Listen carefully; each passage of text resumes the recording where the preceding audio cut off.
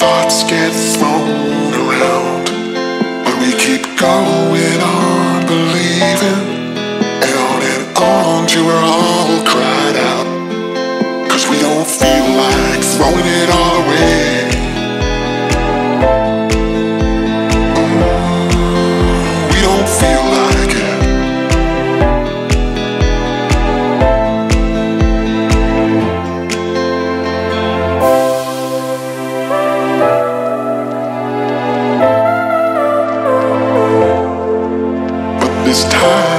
it's not about escaping.